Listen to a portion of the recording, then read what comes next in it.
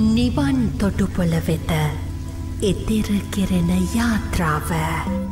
සුබෝදෑසනක් ඔබ හැම දෙනෙකුටම. අද දවසේ පොහොය විශේෂ පොහොයක් බවට පත්වෙනවා.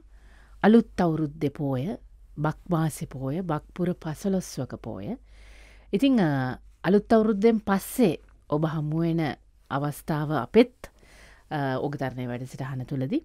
අලුත් අවරුදුරු චාරිත්‍ර සුපුරුදු ලෙසම ඉෂ්ටු ඉටු කරලා ඉෂ්ට සිද්ධ කරලා ඔබ ක්‍රිසියම් විදිහක ප්‍රීතිමත් මනසකින් ඉන්න කාලයක් වෙන්න පුළුවන්. එහෙම නොවෙන්නත් පුළුවන්.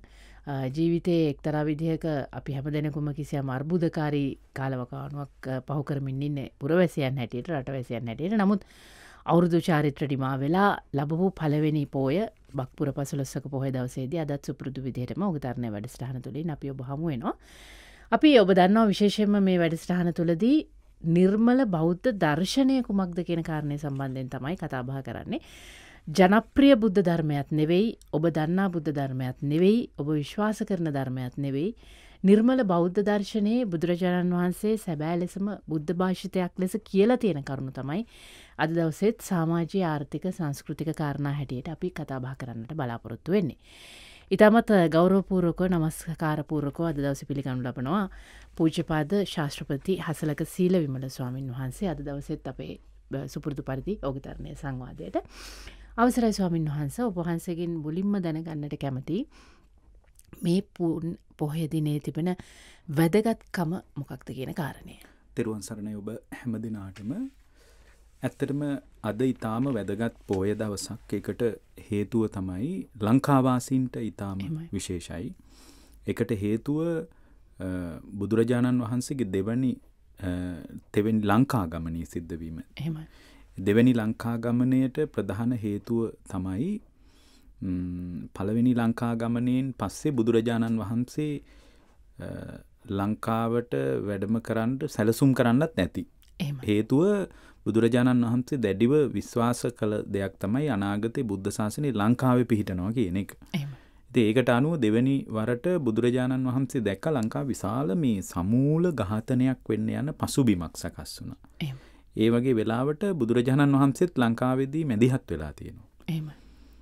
පැත්තකට වෙලා වැඩ ඉඳලා නෑ වෙනත් රටක භාග්‍යවතුන් වහන්සේ පහළ වුණත් උන්වහන්සේ දකිනවා චූලෝදර මහෝදර කියන දෙදෙනා මේ මැණික් පුටුවකට අරගලයක්. අරබුදයක් මතු වුණා මොකද යම් පුද්ගලයගේ මියයාමකින් මැණික් පුටුවට උරුමය සම්බන්ධ අර්බුදයක් මතු වුණා මං හිතන්නේ චූලෝදර සහ මහෝදර දෙදෙනා අතර කාලාන්තරයක් එහෙම අර්බුදයක් තිබිලා තියෙනවා. ඒක එක්තරා විදිහක මතුවෙච්ච අවස්ථාවක්. ඒ වෙලාවේ බුදුරජාණන් වහන්සේ දැක්ක විශාල වශයෙන් මිනිස්සු දෙපිරිස් විශාල පිරිසක් එකතු වෙලා අර්බුදයකට ලෑස්ති වෙනකොට ඔය කැලණියේ රජකම් කරපු මණියක්කිත කියන රජුරුවොත් නාගදීපිට උදව්වට ගිහින් තියෙනවා හැබැයි මහෝදරගේ සහයට තමයි යන්නේ. අන්න එතනදී තමයි බුදුරජාණන් වහන්සේ ලංකාවට වැඩම කරලා මේ පිරිස සමනය කරන්න මේ අය අතර ඇතිවෙච්ච අර්බුදය සමනය කරලා බොහොම සාමකාමී පරිසරයක් ලංකාවේ හදන්න බුදුරජාණන් වහන්සේ දෙවනි වතාවේ ලංකාවට වැඩම කරන්නේ. ඒ වගේ මෙතනදී සිද්ධ වෙච්ච ඉතාම විශේෂ දෙයක් තමයි තුන්වෙනි වතාවට වඩින්න කියලා ආරාධනාව ලැබෙන එක. එකන තුන්වෙනි වතාව වඩින්නේ කැලනියටනේ එම කැලනියට බුදුරජාණන් වහන්සේ වැඩම කරන්න මනියක්කිත කියන රජ්ජුරුවෝ මම රජකං කරන්නේ කැලනියේ මතමයි කැලනිය ප්‍රාදේශය පාලකය. ඔබහන්සේ කැලනියට වඩින්න මමාද ඔබහන්සේට ආරාධනා කරන හැබැ වහන්ස් තනියෙන් වඩින් එපා ඔබ වහන්සේ විශාල භික්ෂු පිරිසක් පිරිවරාගෙන ඔබ වහන්සේගේ අනුගාමිකයන් එක්ක වැඩම කරන්න කියලා අද වගේ දවසකම තමයි ආරාධනාවත් කරන්නේ. එහෙම. ඒත් එක්කම ඊටාම වැදගත් දෙයක් තමයි මේ බුදුරජාණන් වහන්සේ දෙවෙනි වතාවේ තනියමුත් නෙමෙයි වැඩම කරන්නේ. ඒ බුදුරජාණන් වහන්සේගේ ගන්ධ කුටිය කිට්ටුවේ ඉඳලා තියෙනවා කිරිපලු රුකකට අධිපති වෙච්ච සමිද්ධි සුමන කියලා දෙවි කෙනෙක්. එතකොට එයත් එක්ක ඇවිල්ලා තින්නේ. එයා තමයි අර කිරිපලුරුක කුඩයක් වගේ බුදුරජාණන් වහන්සේට දවටාගෙන ඉන්නේ. ඒකයි අර නාගදීපෙට වැඩි ෆොටෝවල එහෙම තියෙන්නේ කුඩයක් අල්ලගෙන ඉන්න ප්‍රතිමාවක් හරි පිළිමවල සහ චිත්‍රවල එක දකින්න ලැබෙන්නේ. එතකොට ඒ තමයි සමිද්ධි සුමන දෙවියෝ බුදුහාමුදුරන්ට කුඩයක් අටවගෙන කුඩයක් විදියට කිරිපලුරුක දවටාගෙන වැඩිය කියනවා. ඒ වැඩම කළාට පස්සේ බුදුරජාණන් වහන්සේ කිරිපලුරුක ස්ථාපනය කරනවා ලංකාවේ. එම ස්ථාපනය කර ලංකාවින් වැඩම කරනවා. එනිසා ලෝකවාසී බෞද්ධයන්ට වැදගත් හේතු හොයන්න පුළුවන්. හැබැයි ලංකාවාසීන්ට බුදුරජාණන් වහන්සේගේ දෙවැනි ලංකා ගමනේ සිද්ධ වෙච්ච දවස නිසා අද ඉතාම වැදගත්. ඒ නිසා අපි අද ඕග තරණින් හැමෝටම යෝජනා කරන්නේ මේ සංසාර ඕගයේ තරණය කරන්න නැවත අලුතෙන් ආරම්භ කරන්න හොඳ අවස්ථාවක්. එකක් තමයි අලුත් අවුරුදු උදාව ඒ අලුත් අවුරුදු උදාවත් එක්ක ජීවිතය අලුතෙන් පටන් ගන්න පුළුවන් අලුතෙන් හිතන්න පුළුවන් චින්තනමය අලුත් බවක් හදාගන්න පුළුවන් එක එකක්. දෙවැනි කාරණය තමයි බුදුරජාණන් වහන්සේ ලංකාවට වැඩම කරපු දෙවන වර නිසා අපට පුළුවන් අපිව දෙවනි වතාව කියවගන්න එහෙමයි. එකන අප ඇතුළ කියව ගන්න හොඳ අවස්ථාවක්. ඒ නිසා අලුතෙන් විවිධ සැලසුම් සහිතව අලුත්වෙච්ච මේ වෙලාවේ. ඒකැන අලුත් අවුරුදු උදා වෙලා දින කීපයක් ඇතුළත සමාරවිට ඔබතුමිය මතක් කලා වගේ ගෙවල්වලට වෙලා කනසල්ලෙන් ඉන්න වෙන්නත් පුළුවන් ඒ කනස්සලුවීමට අදාළ හේතුත් ඔවුන් විවිධ විදියට සාධහරණී කරණය කරනවා විවිධ චෝදනාත්මක ඉදිරිපත් කිරීම තිරේ මොන මට්ටමින් වුණත් තමන්ගේ ඇතුළත් කියවගන්න හොඳ අවස්ථාවක් කරගන්න පුළුවන් නිසා බුදුරජාණන් වහන්සේගේ දෙවනිවර ලංකා ගමනය ඔබේ අභ්‍යන්තරය නැවතවතාවක් කියවගන්න පාවිච්චි කරන්න ඕගය තරණය කරන්න එතකොට පහසුවේ. දැන් ඔබහන්සේ සඳහන් කරා මේ පුන් පොහොයේ තිබෙන වටිනකම ගැන සඳහන් කරද්දි බුදුරජාණන් වහන්සේ මේ මනියක්කික රජවරුන්ගේ තියෙන මේ අර්බුදය විසඳන්න මේ අරගලය විසඳන්න බලාගෙන ඉන්න බැරි නිසා එකැන මෙතනින් මනුෂ්‍ය ඝාතනයක් සිද්ධ වෙයි ඒක වෙන්න දෙන්න බැරි නිසා උන්වහන්සේ මැදිහත් වෙලා මේ දෙවැනි අ, ගමන ලංකා ගමන උදෙසාවෙන මේ කරුණුකාරණා සැකසුනාය කියලා. දැන් මෙන්න මේ කාරණය මරගෙන බැලුවොත්හෙම අපි දකිනව බොහෝ වෙලාවට යම් කිසි ව්‍යසනයක් වෙනවා මේක බලාගෙන ඉන්න බැරි නිසා අපි අපේ භූමිකාව කරන්න ඕනි කියලා යම් යම් අරගලවලට සටන්වලට පුරවැසියෝ විවිධ වෘතිකයෝ අ, භික්‍ෂූන් වහන්සේලා එතකොට අ, කතෝලික පියතුමන්ලා මැදිහත් වෙනවා. දැන් අ, එක්තරා විදිකින් බැලුහම අපි මොකක් හෝ අරමුණක් සාක්ෂාත් කර ගැනීම උදෙසා තමයි මේ විදිට එකතුන කෙනෙකුට එක හරි කියල පේන්න පුළුවන් තව කෙනෙකුට එක වැරදි කියල පේන්න පුළුව එකෙක් දේශපාලන දර්ශනානුව එකෙක් මතිමතාන්තරනුව හෙම හිතෙන්න්නට පුළුවන්. මේ වගේ තැනකදී මනුෂ්‍යය ක්‍රියා කරන්න ඕනි කොහොමද අපි හාමුදුරන්නේ ඇත්තටම මනුස්ස චින්තනය බුදුරජාණන් වහන්සේ මැදහත් කරන්න වැඩ කරපු කෙනෙක්.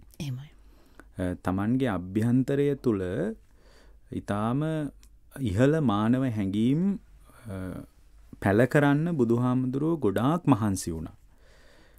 කුමන අර්බුදයක් නිසාවත් තමන්ගේ මානව හැඟීම්වලට මැරෙන්න දෙන්න නරකයි. එමයි මනුෂ්‍යත්ය මනුෂ්‍යත්වයට ඒ කියන්නේ කරුණාව දයාව මෛත්‍රිය හර්ද සාක්ෂය තුළ ඇතිවන තෙතමනය ඒවට මැරෙන්න දෙන්නේ නැතුව අර්බුදය සමනය කරන තැනකයි බුදුදහම ඉන්නේ. එමයි ඒකයි බුදුදහම යුද්ධයටවත් එකඟතාවයක් පල කරන්න නැත්තේ. එමයි ජයංවේරං පසවති දුක්කං සේති පරාජිතෝ. මහනිනි පරාජිතයාට දුකවුරුම වෙනවන එක ලෝක සැබෑ ජයග්‍රහණයක් නෑ කියලා බුදු දහම කතා කරනවා. එමයි බුදු දහම අරගලයටත් එකඟයි. අරගලයට එකගයි ඔව් අරගලයට විරෝධහ කල්පයක් නෑ. මොකද බුදුහාරුත් විශාල අරගලයක් නිකරේ ද උපහන්ස මේක කියපු ගමන් බොහෝ දෙනෙක් කලබලෙන්ට පුළුවන් එක බුදු දහමෙහි මරගලයට එක දහමක් දරගලය සමනය කරන දහමක් නෙමෙයිද?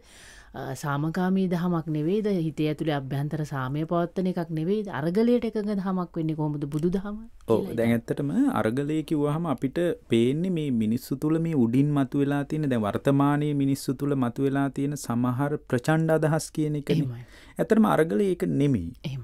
මිනිසුන්ට අරගලේ එක් පැති දෙකකින් කතා කරන්න පුළුවන්.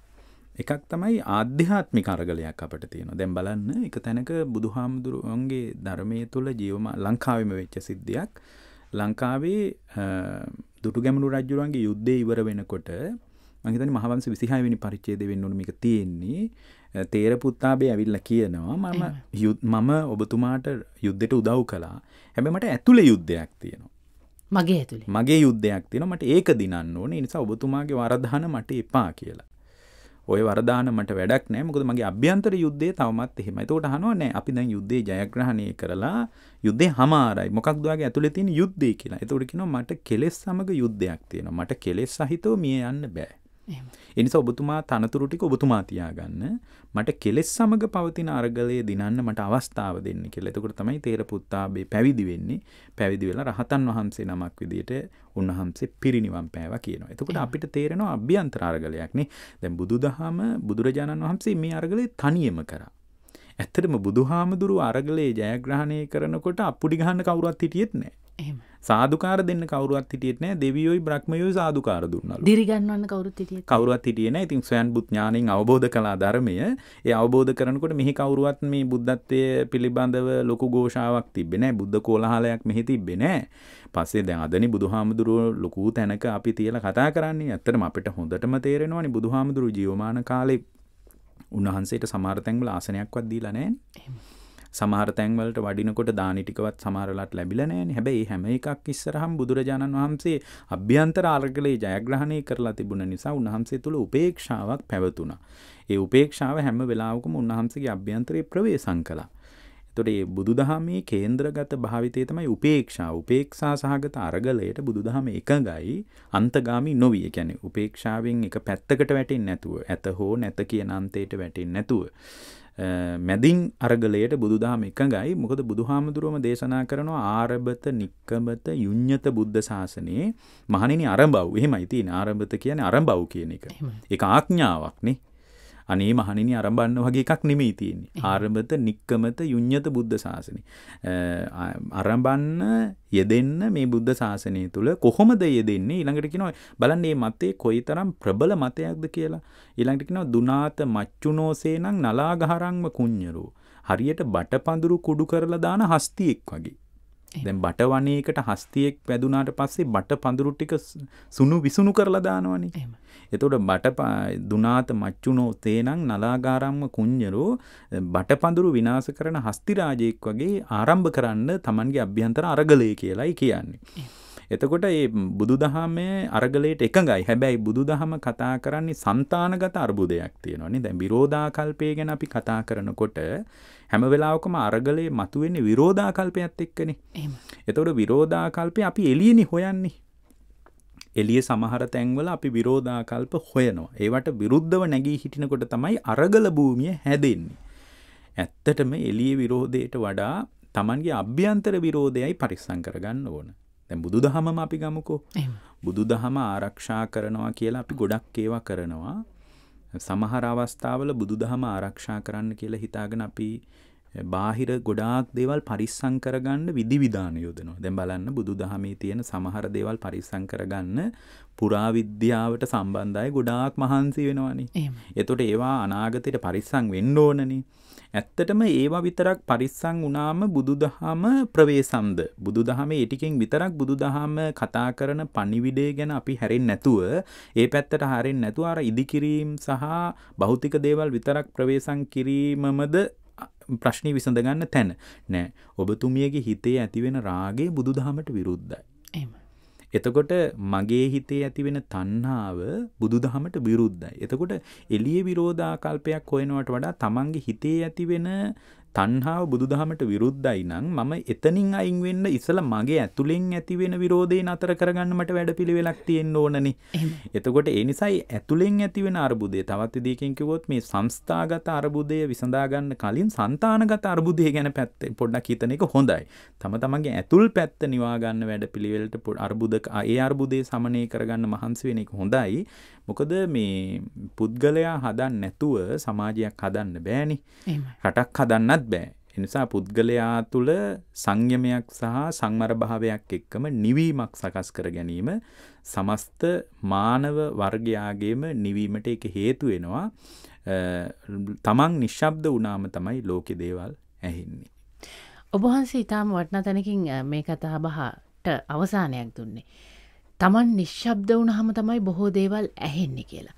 දැන් අපි අනික් පැත්තෙන් අරගෙන බලුවොත් මිනිසුන්ගේ ප්‍රායෝගික ජීවිතයට අරගෙන බලුවොත් එහෙම දැන් නිහඬ වෙලා හිටියොත් කිසි දෙයක් අපිට වෙනස් කරන්න බැරි වෙනවා කියලා කෙනෙක් කියන පොද බුදුරජාණන් වහන්සේ උනත් කිව්වයි කියනවනේ මිනිහෙක්ගේ බඩගින්න තමයි ප්‍රධානදේ බනාහන්ඩ ඉස්සෙල්ල බඩට කාලා ඉන්නෝනී කියලා බුදුරජාණන් වහන්සේ පවා කිව්වයි කියලා අපි අහලා තියෙන හෙම නැත්තං මේ ධර්මය වටාගන්නට බෑ. මූලික අවශ්‍යතාවේ සපිරෙන්න්න ඕනි කියලා. හැම තැනම පුද්ගලයෝ නිහඬව බලාගෙන හිටියොත් සමහර දේවල් දිනා ගන්න පුළුවන් ද අපේ හැමදුරනේ බෞද්ධයෝ හැටියට අපේ පිළිවෙත වෙන්න ඕනේ මොකද්ද මෙතෙන්දී ඇත්තටම හැම තැනකදීම නිහඬවීම බුදුදහම අගය කරන්නේ එහෙම මොකද බුදුරජාණන් වහන්සේත් සමහර අර්බුදවලදී මැදිහත් වෙන්න ඕන තැන උන්වහන්සේත් මැදිහත් වුණා. එහෙම. දැන් ওই ഘോഷික එක එක්තරා වෙලාවක රාජකාරාමයේ කියලා ආරාමික ප්‍රශ්නයක් ඇති වුණාම මේ සමහර පාලන තන්ත්‍රයේ මිනිස්සු තමන්ගේ පාලන බලය සහ පාලන තන්ත්‍රය පරිස්සම් කරගන්න ගොඩාක් දේවල් කරනවා. ඒගොල්ලන්ට නිශ්චිත හැඩයකුත් නෑ චින්තනයටත්. ඒක මං හිතන්නේ මේ ඊවෙලේ දහකක් නෙමෙයි. ඒක මේ බුද්ධ කාලින්දලා තිබිලා තියෙනවා. ඒක තාවක් කොසල් රජ්ජුරුවෝ රාජකාරාමය කියලා ආරාමයක්. ඇත්තට මේක නිගණ්ඨනාද පුත්තට අයිති ඉඩමක්. බුදුරජාණන් වහන්සේගේ ජේතවනාරාමයේ ළඟින් මේ නිගණ්ඨයෝ කල්පනා කරලා තියෙනවා මේ බුදුහාමුදුරුවන්ට මේ ගොඩාක් මිනිස්සු යන්නේ භෞතික දේවලුත් හම්බ වෙන්නේ මේ භූමියේ මොකක් හරි වාසනාවක් ඇති කියලා. භූමිය මොකක් හරි වටිනවා ඇති කියලා හිතලා එයා රජ්ජුරුව ළඟට ගියා. මොකද රජ්ජුරුවන්ටත් එයාගේ මතේ අයින් කරන්න බෑ. මොකද එයාටත් අනුගාමිකයෝ ගොඩක් හිටියනේ නිගණ්ඨනාද පුත්ත. එයා බුදුහාමුදුරුවෝ ළඟ මේ රජ්ජුරුව ළඟට ගිහින් කියනවා ඔබතුමා අපිට උදව්වක් කරන්න ඕන. දැන් මේ මේ කොසල් රජුරු කොච්චර බුදුහාමුදුරනේ හිතවත් කෙනෙක්ද? එහෙමයි. ඔබතුමා අපිට උදව්වක් කරන්න ඕන මොකක්ද? ඔබතුමා අපිට ජේතවනාරාමයට අල්ලපු ඉඩම දෙන්න ඕන. කොහොම හරි කරලා ඒ අල්ලපු ඉඩම අපිට අරන් දෙන්න ඕන. දැන් රජ්ජුරුවෝ බැලුවා මෙයාටත් ලොකු පිරිසක් ඉන්නවනේ. ඒ නිසා හොඳම දේ තමයි ওই ඉඩම දෙන එක. ඉතින් ওই ඉඩම දුන්නා. ඉඩම දුන්නට පස්සේ ටික කාලයක් යනකොට බුදුරජාණන් වහන්සේ බැලුවා මේ කවුද මේ එහා පැත්තේ උපන් ඇඳුමින් ඉන්නවා නිර්වස්ත්‍රව. බුදුරජාණන් වහන්සේ අහලා බැලුවා මේ සාරිපුත්ත හරුන්ගේ මේ සාරිපුත්ත කවුද එහා පැත්තේ ඉන්නේ. එතකොට සාරිපුත්ත හරුකෝ ස්වාමීනි මේ නිගණ්ඩයෝ ආරාමයක් හදනවා ඔය ඔය ඉඩම රජුරෝ දීලා. බුදුරජාණන් වහන්සේ කිව්වා වහාම යන්න සාරිපුත්ත ගිහින් කියන්න රජුරවන්ට මේක වහාම අයින් කරන්න කියලා. මොකද එහෙම නැත්නම් බොහෝ පිරිසක් අකුසල් කරගන්නවා. එහෙම.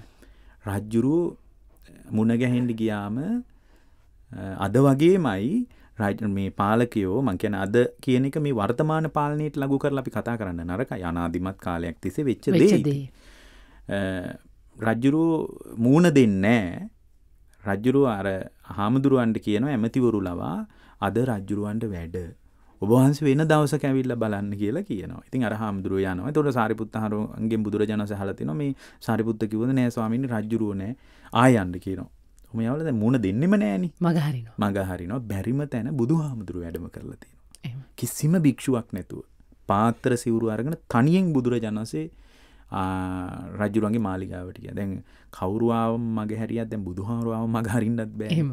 ඇවිල්ලා අද සමහර බලඉන්න උදවිය වගේම අනේ ස්වාමීණි අපට හරියට වැඩ කියලා වැඳලා මොකද්ද ස්වාමිනී ආපු කාරණේ කියලා අහලා තියෙනවා. ඇහුවට පස්සේ රජ්ජුරුවන්ට කියලා තියෙනවා නෑ මං ආවේ එකම හේතුවකට ඔබතුමා වහාම බලන්න බුදුහාමුදුරන්ගේ නැගී හිටීම ඔබතුමා වහාම අර අල්ලපු ඉඩම නිගණ්ඨ ආරාමයකට දීලා තියෙනවා. ඒක එතන තිබ්බොත් බොහෝ පිරිසකට ඒක හානියක්. ආරාමයට එන අයටත් හානියක්. ඒ නිසා වහාම අයින් කරන්න. දැන් රජුරණ කරන්න දෙයක් නෑ අන්තිමට මේ ඊඩම අයින් කරලා නිගණ්ඨයොන්ට වෙන තැනක් දීලා ඒ ඒ ඊඩම රාජකාරාමී කියලා බුදුහාමුදුරුවන්ටම පූජා කරලා තිනවා. මේ බුදුහාමුදුරට ඉඩම් තණ්හාවක් නෙමෙයි තිබුණේ. එහෙම. එතකොට බුදුහාමුදුරුවෝ ඊට වඩා ඊට පළල් චින්තනයකින් පළල් කල්පනාවකින් බැලුවා මේකෙන් බොහෝ පිරිසකට යහපතක් වේද අයහපතක් වේද කියලා. ඒ නිසා බුදුරජාණන් වහන්සේගේත් සමහර තැන්වලදී ඊට ඍජුව නැගී හිටපු අවස්ථා තියෙනවා. එතකොට ඒ ඍජුව නැගී හිටියේ යුතුයි අපි. බුදුරජාණන් වහන්සේ ආරම්භ නික්කම පරක්කම කියලා වීරියේ ස්ථානගත වීම තියෙනවා. එතකොට අපට තේරෙනවා අපි යම් වෙලාවක අපි තුල නැගී හිටීමක් තිබිය යුතුයි. හැබැයි නැගිටි නැගී හිටීම ඊටම සාධාරණ විය යුතුයි.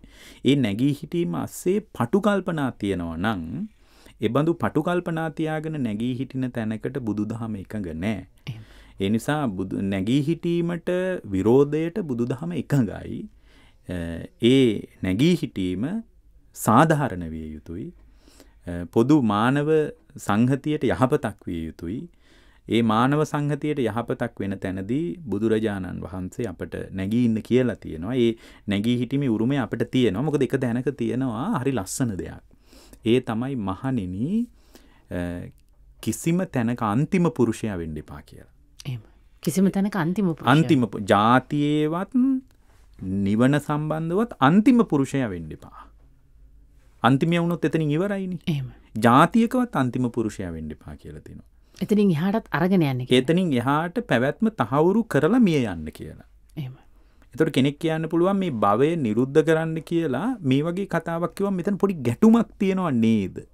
සියල්ල අතහරින්න කියලා කියන්නේ එක පැස් සියල්ල අතහරින්න කියලා මේ සංස්ථාව අතහැරල දාලා නිවෙන් සදාකාලිකෝම නිවෙන්න කියලා එක දේශනාවක මහනිනි මා අන්තිම පුරුස අහුවත්ත කියල එක තැනක තින අන්තිම පුරුෂය වෙන්න එපා කියලා.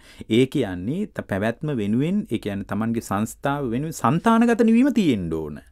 එතුට අපි මෙතනදි දෙපැත්තකින් තේරුම් ගන්න ඕන සංස්ථාගත ස්වභාවයත් සන්තානගත ස්වභාවයත්. සන්තානගත ස්වභාවය තුළ නිවීම තියෙන්න්න ඕන. මොකද නිවීම තිබ්බොත් තමයි පලල්ල පේන්නේ.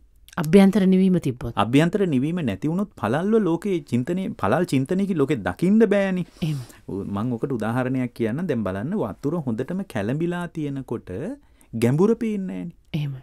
එකන වතුර හොඳටම කැලඹිලා නම් ගැඹුර බලන්ඩ බෑ ගැඹුර පේන්නේ ඒමන ගැඹුර එකන ජලය අභ්‍යන්තර ගැඹුර බලනවා නම් අනිවාරෙන් නොකැලබී තියෙන් ඕන එහෙම. එතු නොකැලබී තියෙනකොට ගැඹුරට පේනවා අන්න වගේ අභ්‍යන්තරයේ කැලඹිච්ච මිනිස්සු අරගලයට ආවට පස්සේ මකෙන අරගල ඉතා හොඳ දෙයක් අභ්‍යන්තරේ නිවාගන්න නැතු අභ්‍යන්තරේ කැලඹුණු ගමන් අරගලේටාවම ඉගුල්ලන්ට ගැඹුර පේන්නේ. එතකොට ඒගුලන්ගේ තිය ඒගොල්ලන්ගේ තියෙන්නේ හරියට අර ක්ෂණික ආහාර වගේ ක්ෂණිකව තීරණ ගන්නවා ඒ ක්ෂණික තීරණ වඩා යහපත් තීරණ නෙමේ. අරගලය මුවාවෙන් වින්දනය හොයාගෙන යන්නේ ගැඹුර පේෙන් නැති මිනිස්සු. එහෙම. ඒ නිසා බුදුද හරියට නොකැලඹුණු වතුර තියෙන තැනක ගැඹුර පේනෝ වගේ අභ්‍යන්තරයේ කැළඹිල නැත්තං අරබුදේ විසඳා ගැනීම පිළිබඳ ගැඹුරු සාකච්ඡාවකට අපට යන්න පුළුවන්. ගැඹුරු සන්දර්භයකට අපට පිවෘත වෙන්න පුළුවන්. ගැඹුරක් නැතුව අරගලයට ගියාට පස්සේ ඒගොල්ලන්ට තියෙන්නේ අද අපිට පේන සමහරිතාම ස්වල්ප සින්දු කියන වගේ දේවල් ටිකක් විතරයි. අපි හමුදුරනේ දැන් අ, මේ වගේ අරගල බිමක ස්වභාවයම වීරයෝ බිහි වෙනවා. දුෂ්ටයෝ බිහි වෙනවා. අ, එතකොට එක්තරා විදිහකින් අ, විහිලු කාරයුත් බිහිවෙන්න පුළුවන් දර්ශනිකයෝ බිහි වෙන අපි දැකල තියෙන දැන් අපේ අතීතය ඉඳල මේ ආපු සදාකාලික සියලුම මේ ජාතිය සටන් වල මම ගැන ජීවිතය සඳහා ගම සඳහා දේශපාලන උත්සා කරන හැම සරණකම මේ මේ කියන පාර්ශව ඉන්නවා අපිට පේනවා. ද මේක ටිකක් තෝරා බේරාගණ්ඩ අසීරු අවස්ථාවක් සත්‍ය මොකක්ද එහෙම නැත්ත මේ සත්‍යයට යට වෙන එකක් තියෙනවද? වෙන අරමුණක් තියෙනවද? අප පෙනී සිටින දේවල් සත්‍යයද එවිනුවෙන් කතා කරනය සැබෑවීරයෝද දුෂ්ටයෝ කවුද? එතකොට පාවා දෙන්න කවද? සතුර කවද? මිතුර කවුද කියලා අඳුනාගන්න බැරි වාතාවරණයක් තියෙනවා. බෞද්ධයන්ට ඔබහන්සේ දෙන පණිවිඩේ මොකක්ද. ඇත්තටම බෞද්ධ චින්තනය කියන්නේ අ, ඉ- බුදුරජාණන් වහන්සේ මතක් කලා මහනිනි ලෝකයේ තියෙන හොඳම ඇඳුම තමයි ඉවසීම කියන යුද්ධ ඇඳුම කියනවා. ඕනෑම සංග්‍රාමයකට ලෑස්ති වෙනවනම් ඉවසීම කියන යුද්ධ ඇඳුම අඳගෙන යන්න කියනවා. එම මොකද අපි යුද ඇඳුමක් පලඳින්නේ ආරක්ෂාව පිණිසනේ. බුදුරජාණන් වහන්සේ ධර්මී පැත්තිෙන් අපට නම් පැහැදිලි කලා දැන් බෞද්ධයගේ චින්තනය මේ විදිර ගොඩනගෙන්න්න නැත්තටම බුදුරජාණන් වන්සේ වදාළ මහනිනි කියතක් අරගෙන කපද්දිත් කපන කෙනා කෙරෙහි වෛරී සිතක් හදාගන්න ඇතුව ඉන්නවන අන්න ඒ වගේ කෙනෙකුට තමයි මහනිනි මගේ ධර්මය විවෘත වෙන්නේ. එහෙම. කක චූපම සූත්‍රය දෙහෙම මතක් කලා එතොට අපේ ඉවසීම කොයි තරන් තියෙන්න්න ඕනද? හැබැයි මංකැනමි වර්තමානය අරගලය ගැනම නෙමේ මං මේ කියන්නේ. එහෙම එතකොට ඒ ඉවසීම කියන කාරණ ඉතාම වැදගත්. දැන් ඔබතුමිය මතු කරන කාරණ ඉතාම වැදගත් දෙයක් තියෙනවා. ඒ තමයි විවිධ චින්තන දහරාවන් ඔස්සේ සමහර තැන්වලදී සමහර දේවල් සාර්ථක කරගන්නත් සමහර තැන්වලදී ඒ සාර්ථකත්වය බිඳවට්ටන්නත් පුද්ගලයෝ අභ්‍යන්තර විවිධ ක්‍රියාකාරකම්වල නිරත වෙමින් ඉන්නවා. මේ වෙලාවේ දැන් වර්තමානයේ මුහුණ දෙන අරගලේ පැත්තටම හැරුණොත් එකැන් මිනිසු තැනින් තැන තැනින් තැන ඔවුන් තුළ යම් ගෝෂාවක් ඇති වෙලා තියෙන එක ඉතාම සාධහරණ කතාවක්නේ මිනිසුන්ට ඇතිවෙච්ච පීඩාවේ විදියට පිට කරන ඉතාම සාධහරණයි ප්‍රජාතන්ත්‍රවාදී සීමාවේ හිට.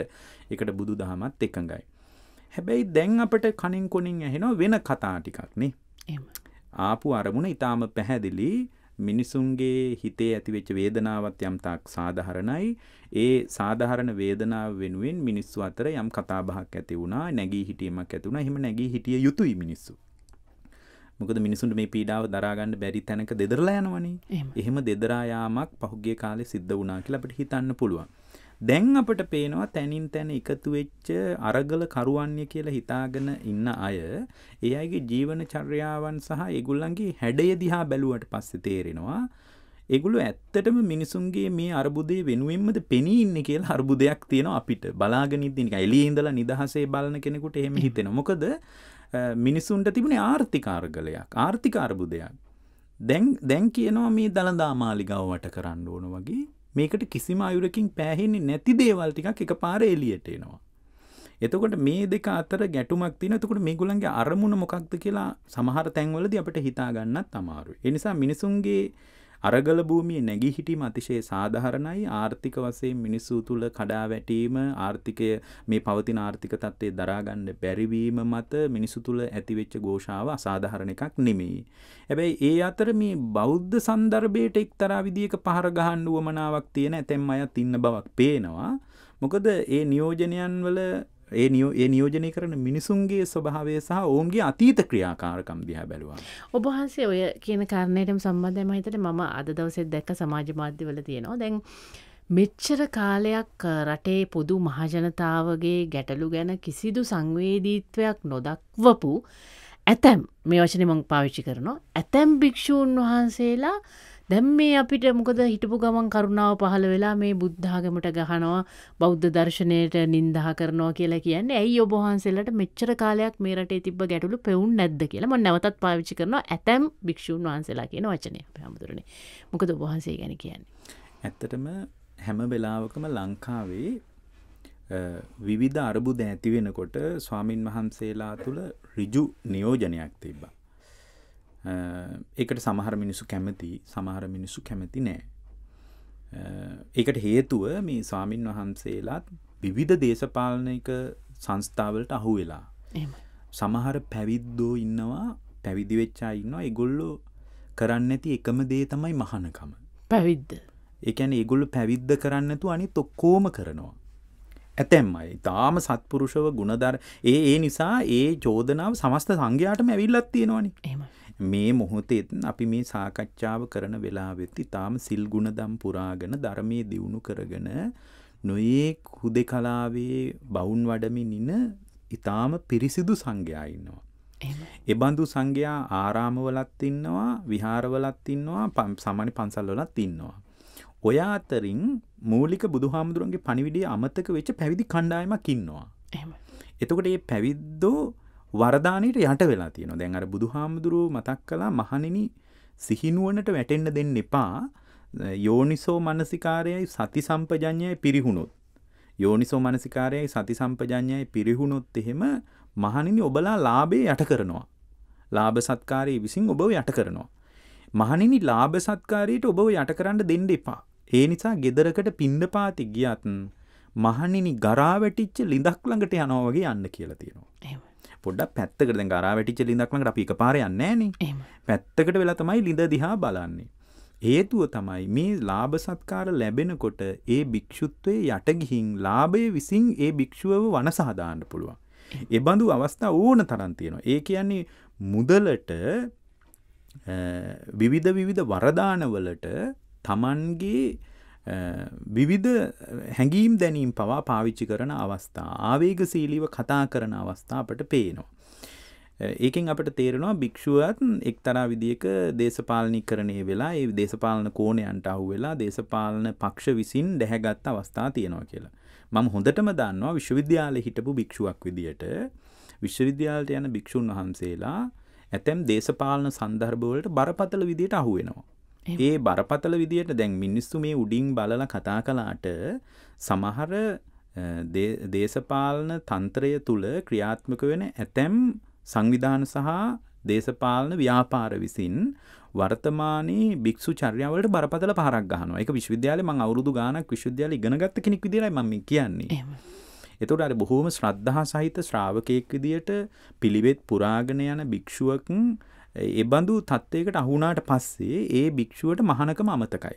මට මතක අපිත් එක හිටිය සමහර පැවිදියා ඉන්නවා. ඒගොල්ලන්ට මහනකම මතක තිබෙනෑ එකන අවුරුදු දෙකත්තුනක් යැනකට හරි සද්ධාවෙන් බුදුන් වැඳගෙන වත් පිළිවෙත් කරගෙන හිටපු සමහර ස්වාමින් වහන්සේලා. ආවට පස්සේ ශ්‍රමණ සාරුප්පියවත් නෑ. එක යන්නේ පැවිද්දෙකුට අදාළ හිස මුඩු කරගන්න එක සිවුරු ඉතාම පිළිවලට දරාගන්න එක ඔක්කොම යට ගිහින් ඉතා ප්‍රචණ්ඩකාරී අභ්‍යන්තර හැසිරීම් දකිින්ට ලැබෙනවා.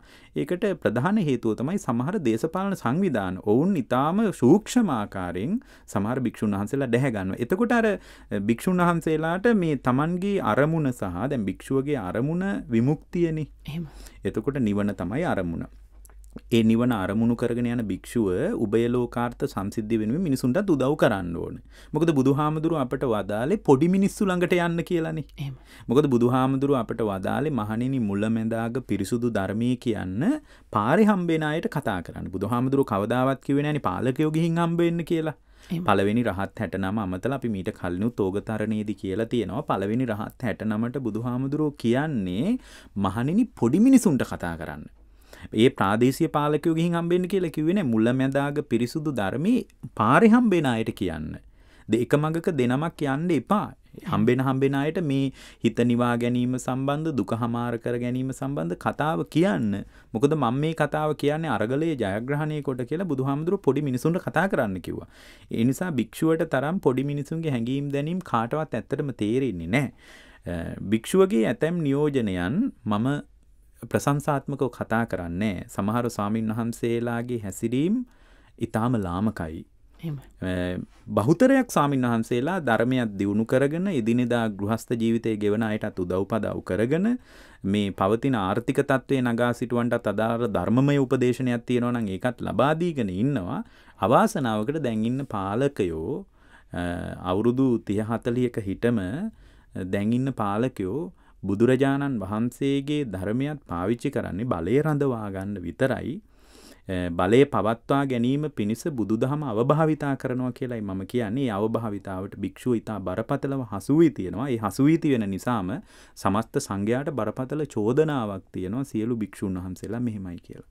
අපේ හමුදුරනේ දැන් ඔබහන්සේ එක්තර තැනකදි සඳහන් කර මේ සංවාදයම මේ ආර්ථිකය අපේ බඩට වදිනකොට අපිට ඒක දැනෙනවා. අනික් සියල්ලට වඩා මූලික අවශ්‍යතාවය අපිට කන්න බොන්න කියන මේ මූලික අවශ්‍යතාටික සැපිරෙන් ඇතුනහම අපිට එක දැනෙනවා. ආර්ථිකය වෙනුවෙන් සධාතනික අරගලයක් එදායිඳ ලද දක්වා මිනිසු කරලා තියෙනවා. තමන්ගේ ජීවන පැවැත්ම උදෙසා තමන්ගේ බඩවියත උදෙසා මිනිස්සු එදායිඳලා අද දක්වා නොනවෙතන අරගලයක් කරනවා එක මේ මෙහෙම මේ කෝල් පේස් පිට්ටනයට ගිල කරන අරගලය නෙවෙයි. රැකියාව කරන ස්ථානයේදී බස් එකේදී කෝච්චේදී මිනිස්සු කරන්නේ සධාතනික අරගලය තමයි එක මේ හැමදාම කරපු අරගලේ. හැබි දැන් අර මේ අරගලය තුළ අපි දකිනෝ මේ ආගමත් එපාය කියන තැනට යම් කිසි තැනකට ඇවිල්ල තියෙනද. සාමාන්‍ය මනුෂ්‍ය ජීවිතයේදී මේ ආගම කියන කැල්ලත් අයින් කරන තරමකට අරගලයක් වර්ධනයවීම ඔබහන්සි දකින්න කොහොමද. ඇත්තටම ඒ ඒ බඳු අරගලයක තියෙන්නේ යටි පෙළේ වෙන කතාවක් ඒකයි අපිට පේන්නේ. එමයි.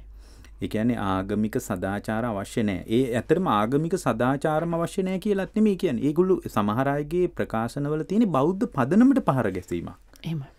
සමස් ඒකැනේ සමහර ආගම් තියෙනවා ඉතාම ම්ලේච්චත්වය ප්‍රචණ්ඩත්වය බරපතල විදිහට වර්ධනය වුණ සහ වර්ධනය වෙමින් පැවතිච්ච ආගමික සන්දර්භ නැද්ද එතකොට එබඳු ආගමික සන්දර්භවලට කවුරත් ඇඟිල්ල දික් කරන්නෙත් නැහැ. මකෙන් ලංකාවෙම ලෝකෙ හැමතැනම වෙන දෙයක් ඒක. දැන් ලංකාවේ වර්තමානයේ මුහුණ දෙනකොට සියලු ආගම් එපා කියලා සමහර අයගෙන් චෝදනාවක් එන්නේ නැහැ. ඒගොල්ලෝ කියන්නේ බෞද්ධ සන්දර්භය ඕනේ කියලා. දැන් බෞද්ධ සන්දර්භයේ කරපු හානිය මොකක්ද?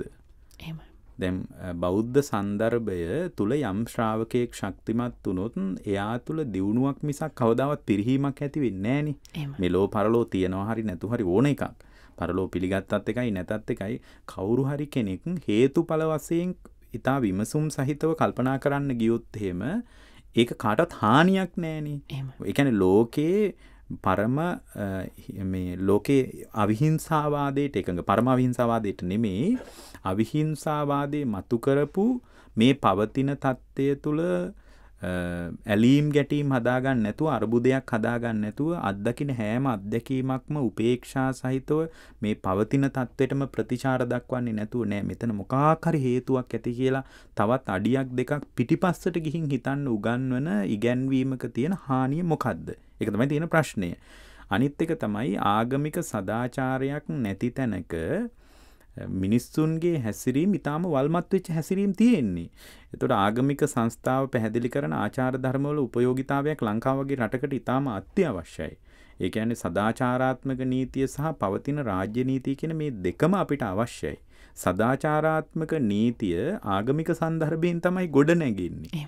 එතකොට මේ සදාචාරාත්මක නීතිය නැතුව රාජ්‍ය නීතිය විතරක් තියාගෙන රාජ්‍ය නීතියට විතරක් හිස නමාගෙන හිටියොත් එතන මානව හැඟීම් වලට ලොකු ඉඩක් වෙන් වේවි කියලා අපිට හිතන්න අමාරුයි. ඒ නිසා මෙබඳු කතාවලින් අපට පේන එක දෙයක් තමයි යටිපෙළේ ඔවුන්ට වෙන න්‍යාය පත්‍රයක් තියෙනවා කියන එක. ඒ කියන්නේ මේ පවතින පොඩි මිනිසුන්ගේ බඩට වදින එකම නෙමෙයි.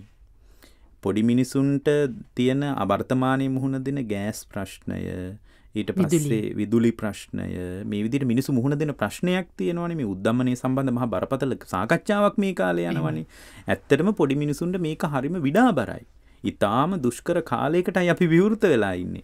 මේ වෙනුවෙන් මිනිස්සු අතර තැනින් තැන නැගී හිටීමක් ඇති වුණා. ඒ නැගී හිටීම ඉතාම අතිශය සාධාරණ නැගී හිටීම. දැන් මිනිස්සු අතර මේ නැගී හිටින් නැගී හිඳලා තියෙන ස්වභාවය දිහා බැලුවට පස්සේ ඒ අයට අර පොඩි මිනිසුන්ගේ බඩ බඩ රැක ගන්නව වෙනුවට පොඩි මිනිසු ගේ පීඩාව සමනය කරගන්නව වෙනුවට ඒකට දැන් වෙන හැඩයක් ඇවිල්ලා තියෙනවා. ඒ කියන්නේ අර බෞද්ධ පදනමට පහර ගහන බවක් පේනවා. දැන් මේ රැඩිකල්වාදී අදහස් තියෙන නිරාගමික අදහස් තියෙන බහුතරයක් තමයි ඔය සමහර සංවිධාන වටේ සමහර මිනිස් ජන ඒකරාශි වීම වටේ බහුතරයක් ඉන්නේ. ඔවුන් අතීතයේ දැන් අවුරුදු 10ක් 12ක් කරගෙන ආපු දේවල් දැක්කට පස්සේ සමහර අයට තමන්ගේ තමන්ගේ දෙමව්පියන්ගේ හැඟීම් දැනීමත් තේරුම් ගත්තේ නැති අසංවේදී මිනිස්සු සමහර එකතු වෙලා ඉන්නේ.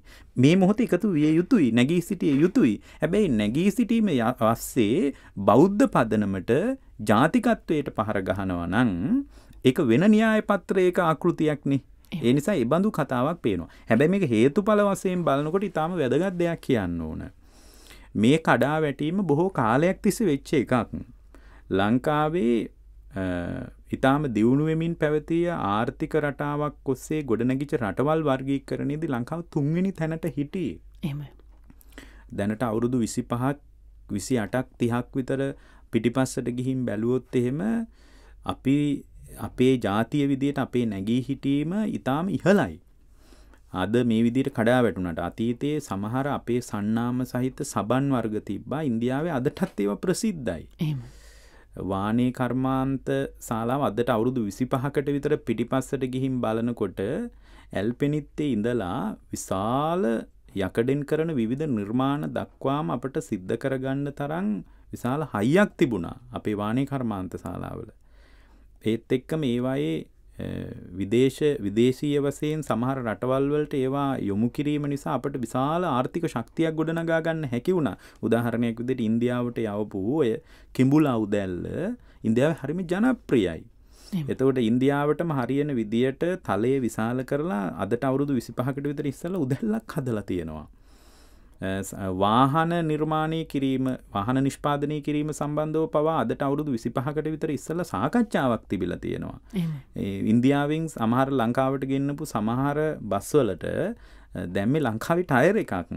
තුට මේ විදියට ඉතාම ප්‍රශස්ථාකාරෙන් දියුණු වෙමින් පැවතිච්ච දියුණුවීමේ ඉතාම ඉහළ විභාවයක් තිබුණු අවධයක් අපට තිබුණා.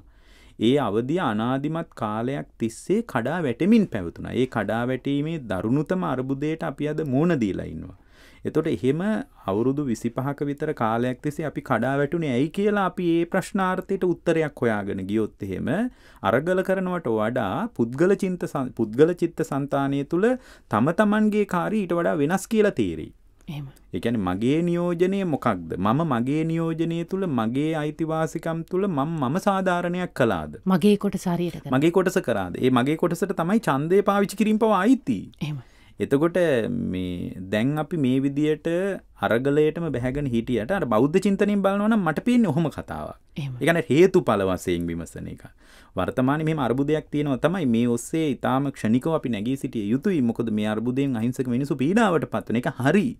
නමුත් හේතුඵල වශයෙන් බලනකොට එබඳු නිෂ්පාදන ආර්ථිකයක් තිබ්බ අපේ වගේ රටක මේ දක්වා කඩා වැටුනේ ඇයි කියලා අවුරුදු 25ක් විතර පිටිපස්සට ගිහින් බැලුවොත් පාලකයන්ට අත පියදාගන්න බෑ ඇත්තටම.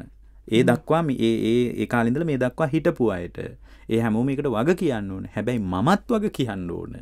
මොකද මං- මගේ වගකීමත් මට අමතක වෙලා තියෙනවා සමහර තැන්වල. ඒ නිසා පුද්ගල චරිත සංවර්ධනය කරන්න නැතුව අරගල භූමියට ගිහින් සදාචාරයත් එපා කියලා කෑ ගහනවා නම් ඒ බඳු જાතියකට නැගී හිටීමක් නැහැ කියලයි මට නම් හිතෙන්නේ. අද දවසේ ඕගතරණය වැඩිස්ටානයේදී අපි මේ වත්මන් ආර්ථික සමාජය තත්ත්ව සැලකිල්ලට අරගෙන තමයි මේ බක්මාසේ බක්පුන් පෝදවසේ පොය ඕගතරන වැඩිස්ටාන අපිට කරන්න සිද්ධ වෙනමකද තත්වය නොසලකා අපිට කතාබා කරන්නත් බැරි නිසාපය හමුදුරන්නේ. දැන් මේ අවස්ථාව වන විට රට තුළ තියෙන තත්ත්වය තමයි අ, මේ සියලුම අයිතීන් එහෙමත් නැත්තං ඉල්ලීම් දිනාගන්නා සටනේ කවුරුත් විශේෂණ හැම දෙනාම ඉන්න ආගමික පාර්ශව ඉන්නවා. අ, ගිහි පැවිදි සියලු දෙනා ඉන්න උගතුන් ඉන්නවා. සමහරලාවට උගත් නොවන පුද්ගලයන් ඉන්න පුළුවන්. මේ සියලු දෙනාම මේක නියෝජනය කරනවා. දැන් අ, වසර දෙදහස් පන්සියක් තිස්සේ අපේ රටේ ඇතිවන ව්‍යසනකාරී තත්ත්වවලදී ආගමික සාමාජය දේශපාලන ගැට්ටුවලදී ඔබහන්සේලා අපිට අර්ථයෙන් ධර්මයෙන් අනුශාසනා කලා මැදිහත් වුණා.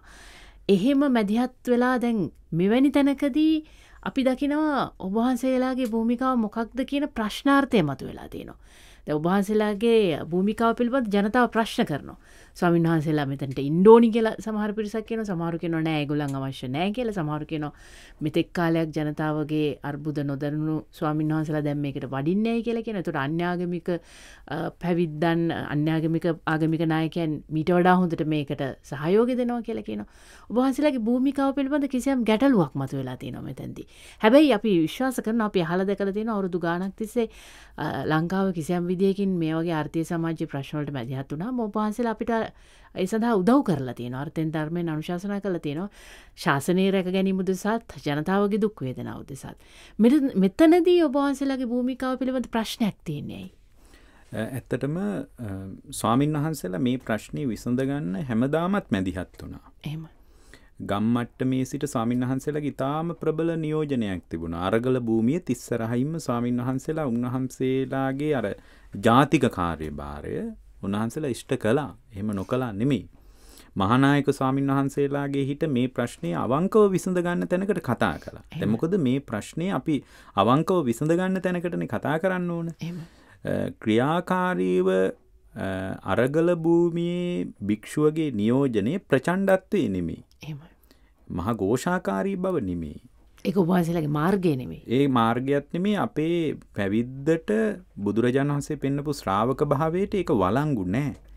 බුදු හාමුදුරුවොත් හැමදාමත් අපට කළේ ඒ පවතින තත්ත්වයට අනුශාසනා කරන්න කියලා. අද තියෙන අපේ අනුශාසනා කවුරුත් අහන්න නැති ප්‍රශ්නය.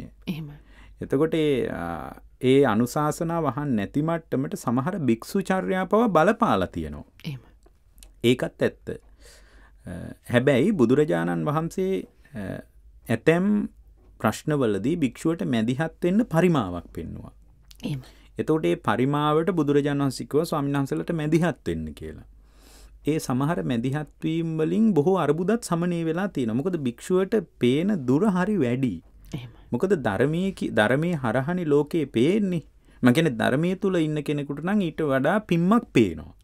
සාමාන්‍ය ලෝකයේ මිනිස්සු ගැටලුවට ප්‍රතිචාර දක්වන විදියට වඩා භික්ෂුවකට ඊට වඩා පලල්ව පේනවා. මොකද ධර්මය කියන්න ඊට වඩා ගැඹුරට යන එකක් ඊට වඩා ගැඹුරින් විශ්ලේෂණය කරන එකක් ප්‍රශ්නයක් පවා. එනිසා සාමීන් වහන්සේලා මේ අවස්ථාව මැදිහත් නොවෙනවා කියනවනම් එක අසාධාරණ කතාවක් උන්වහන්සේලාගේ මැදිහත්වීමක් තියෙනවා. අනිත්කාරණය තමයි බුදුරජාණන් වහන්සේ අපට වදාලේ කුමක්ද. අපගේ ශාස්තෘන් වහන්සේ විදිට අපට මොකක්ද බුදුරජාණන් වහන්සේ අ, හැම වෙලාවකම වදාලේ උන්වහන්සේ හැම වෙලාවකම අපට වදාලේ නිවන පැත්තඉන්න කියලා. මේ නිර්වාණය කියන එකම නෙමේ මම කියන්නේ. අවුලවන පැත්තෙ නෙවෙයි. නෙමේ අපි මීට කලනුත් කියලා ඇති නිවීමයි අපේ නියෝජනයේ. ගිනි තැබීම නෙමෙයි. ගිනි ගන්නකොට පිදුරු දාන එක අපේ ක්‍රමේ නෙමෙයි. හැම වෙලාවකම අපි නිවීමයි නියෝජනය කරන්නේ. ඇවිලීම නියෝජනය කරන්නේ. එතකොට නිවීම පිණිස අදාළ මූලික අනුශාසනාවයි බුදුරජාණන්සේ භික්ෂුවට කරන්න කියලා කිව්වේ. ඒ නිසා ඊටාම සංයමකින් මේ වගේ ප්‍රශ්නයකට භික්ෂුව මැදිහත් වෙන එක හොඳයි. මොකද බුදුරජාණන් වහන්සේ වුණත් සමහර පාලන ක්‍රියාවලිය තුළ පාලකයන්ගේ ප්‍රශ්න විසඳන්ඩ උන්වහන්සේ රිජුව මැදිහත් වෙන බවක් අපට පේන්නේ නෑ. දේශපාලනික දේශපාලනික ගැන ඔය ශාකකෝලි අර්බුදයම විසඳන්න බුදු හාමුදුරුවෝ එ මැදිහත් වෙනවා තමයි. එතන තානිය සලකාගෙන මැදිහත් වෙන්නේ. උන්වහන්සේ මැදිහත් නොවනානම් මොනවා වෙයිද. මතුවට වෙන හානි. වෙන හානිය තුළ විශාල මානුෂිය ඝාතනවලට විවෘත වෙනවන ඒ වගේ වෙලාවක ඒ අර්බුදය සමනය කරන්න මැදිහත් වෙනවා ඒ මැදිහත් වෙන්නේ ඒ මොහොත ගැන හිතලම නෙමෙයි ඉතාම හොඳින් දුර දැකලා ඒකට මැදිහත් වෙන්නේ. එනිසා බුදුරජාණන් වහන්සේ අපට හැම වෙලාවකම අනුශාසනා කළා නිවීම නියෝජනය කරන්න කියලා. නිවීම නියෝජනය කරමින් ඒ උදෙසා බුදුරජාණන් වහන්සේ කටයුතු කරන්නකෝ සමහර තැන්වල නිශ්ශබ්ද වෙන්නත් කිව්වා. දැන් අපට තේරෙනවා එක තැනක තියෙනවා එක භික්ෂුවක් එක්තරා සතෙකුට හානියක් වෙයි කියලා ඒ භික්ෂුව දැකපුදෙක් නොකිය ඉන්න අන්තිමට මේ භික්ෂුව බරපතල අර්බුදයකට පත්වෙනවා. නිහඬ විඳලා. අර තිස්ස කියලා හාමුදුරුව කෙනෙක් මනිකාර කුළුපගතිස්ස කියලා බොහොම ප්‍රසිද්ධ ඒ හාමුදුරුව. මනිකාර කුළුපගතිස්ස ස්වාමිනාස රහත් වෙලා හිටිය අවුරුදු මංහිතන්නේ දොළහක් කොහෙද එක ගෙදරකට පින්ඩ පාතය විල්ලා තියෙන ඉතින් අවුරුදු දොලහක් පින්ඩ පාති වැඩියාම ඒ ගෙදර හිටිය මැනික්කොප දමන්නේ.